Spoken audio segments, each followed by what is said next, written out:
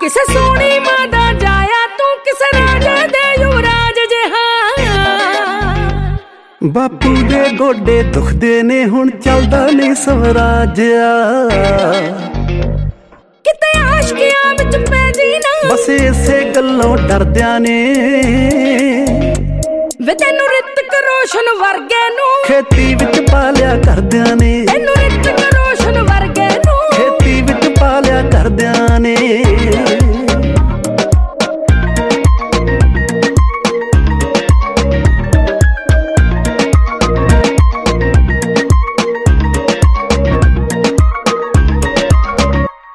ਮਾੜੀ ਸੰਗਤ ਤੋਂ ਬਚ ਗਿਆ ਤੂੰ ਨਹੀਂ ਚਿੱਟੇ ਚਿੱਟੇ ਵਿੱਚ ਪੈ ਜਾਂਦਾ ਬਸ ਪੈਗ ਸ਼ੈਗ ਦੇ ਸ਼ੌਂਕੀਆਂ ਤੜਕੇ ਨੂੰ ਉਹ ਵੀ ਲੈ ਜਾਂਦਾ। ਤੈਨੂੰ ਫੋਰਚੂਨਰ ਜੀ ਲੈਂਦੀਆਂ। ਗਿੱਲਾਂ ਨੇ ਕਿਰਸ ਜੀ ਕਰਦਿਆਂ ਨੇ। ਤੈਨੂੰ ਰਿਤਕ ਰੋਸ਼ਨ ਵਰਗੇ ਨੂੰ। ਖੇਤੀ ਵਿੱਚ ਪਾਲਿਆ ਕਰਦਿਆਂ ਨੇ। ਤੈਨੂੰ ਰਿਤਕ ਰੋਸ਼ਨ ਵਰਗੇ ਨੂੰ। ਖੇਤੀ ਵਿੱਚ ਪਾਲਿਆ ਕਰਦਿਆਂ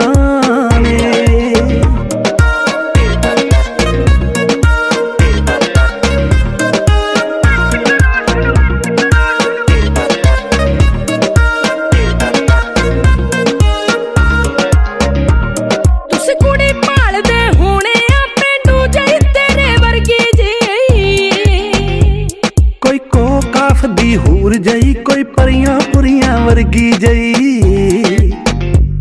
ਤੁਸੀਂ ਉਹ ਵੀ ਹੱਥੋਂ ਲਗਾ ਲੈਣੀ। ਬਸ ਮੰਗ ਦਾਜ ਦੀ ਕਰਦਿਆਂ ਨੇ। ਤੈਨੂੰ ਰਿਤਕ ਰੋਸ਼ਨ ਵਰਗੇ ਨੂੰ। ਖੇਤੀ ਵਿੱਚ ਪਾਲਿਆ ਕਰਦਿਆਂ ਨੇ।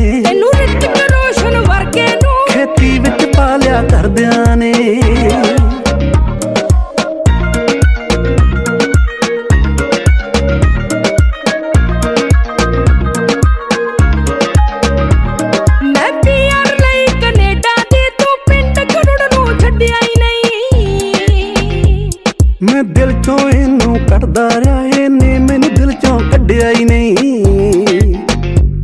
ਦੋ ਸਾਲ ਮੋਹਾਲੀ ਲਾਤੇ ਸੀ। ਆਪਾਂ ਇੱਕ ਦੂਜੇ ਤੇ ਮਰਦਿਆਂ ਨੇ। ਤੈਨੂੰ ਰਿਤਕ ਰੋਸ਼ਨ ਵਰਗੇ ਨੂੰ। ਖੇਤੀ ਵਿੱਚ ਪਾਲਿਆ ਕਰਦਿਆਂ ਨੇ। ਤੈਨੂੰ ਰਿਤਕ ਰੋਸ਼ਨ ਵਰਗੇ ਨੂੰ। ਖੇਤੀ ਵਿੱਚ ਪਾਲਿਆ ਕਰਦਿਆਂ ਨੇ। ਤੈਨੂੰ ਰਿਤਕ ਰੋਸ਼ਨ ਵਰਗੇ ਨੂੰ। ਖੇਤੀ ਵਿੱਚ ਪਾਲਿਆ ਕਰਦਿਆਂ ਨੇ।